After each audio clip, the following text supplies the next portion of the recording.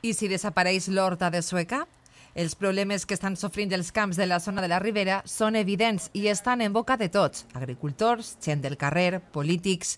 La solució no arriba i cada dia es perden més hectàrees de camp útil i les pèrdues es continuen acumulant. Pancri i Piera, com a director de la cooperativa de Sueca Unió Cristiana, reconeix que han coincidit en el temps diferents factors que fan que la decadència del camp valencià siga cada dia més forçosa i evident.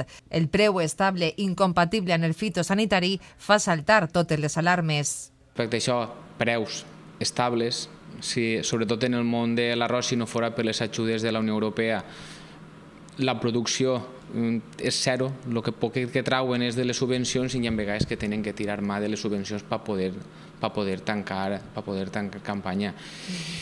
I els preus dels fitosanitaris normalment van, van a l'alça, per això, perquè cada vegada hi ha menys productes, dependim de, de les autoritzacions excepcionals d'alguns productes i tot això recurta el temps de negociació i de producció de les, de les multinacionals. Doncs això encareix el, encareix el producte. Mm -hmm. Si diguem del 2012 per sí, característiques, preus de la, dels ingressos de l'arròs estables i el preu de les matèries primes a, cara amunt. Si fas la, si fas la resta, cada vegada el llaurador té, té menys, menys diners.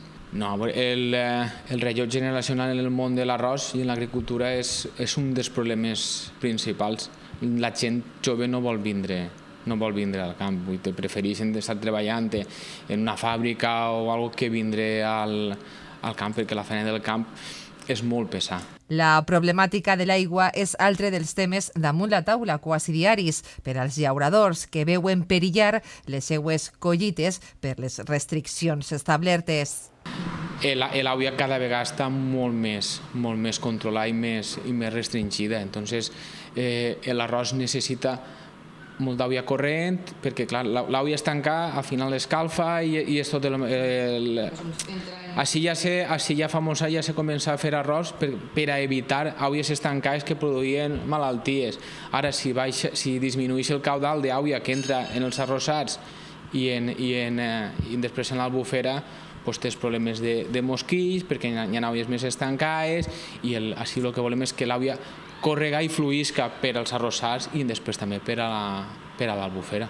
El canvi climàtic també és una realitat i el camp es veu afectat greument per les fortes tronades, les altes temperatures nocturnes, que són factors que no van en concordança amb els episodis i temporalitat de la collita.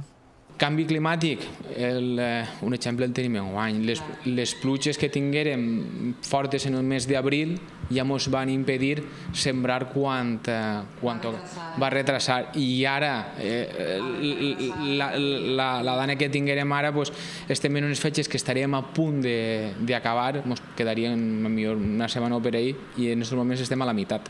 Fluix moltíssim eh, la calor tropical que estem tinguent aquests últims anys en la, en la Clar, eh, tindré nits en el mes d'agost de 23, 24, 25 graus, pues, el que són totes les eh, els fongs, eh, principalment la periculària, com està donant gasolina, ja cada vegada va més. No, no és el mateix una nit de 17 o 18 graus que de 24 o 25, influï, influïx i... La reivindicació més clara dels agricultors és la d'arribar a un acord estable que afavorisca tots els usuaris del camp així com a les institucions en matèria d'aigua, preu i, sobretot, competència deslleial en altres mercats.